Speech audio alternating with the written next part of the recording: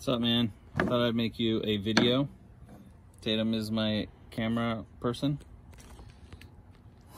So, anyways, you should have a, uh, a tool like this that came with your uh, with the chainsaw.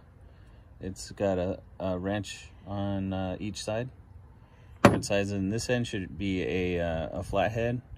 Uh, this is a wrench from one of my other Stihl um, products, so it, it has a Torx bit but you can use a flathead screwdriver too but you do need this uh, this wrench or a socket of the same size. So anyways in order to uh, tighten the tension on the uh, the chain right here first thing you got to do is uh, go to these two bolts here and you just got to loosen them up.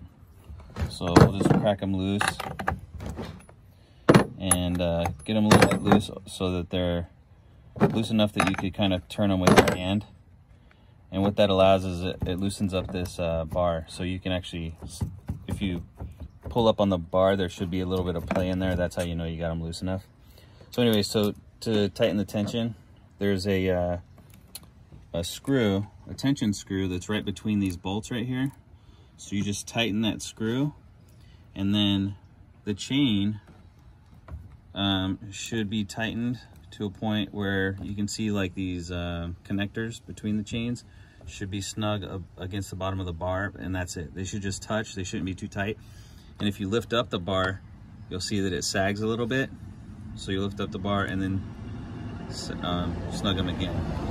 And then while you're holding the bar up, you'll go back to the, uh, the nuts here and you'll just tighten them up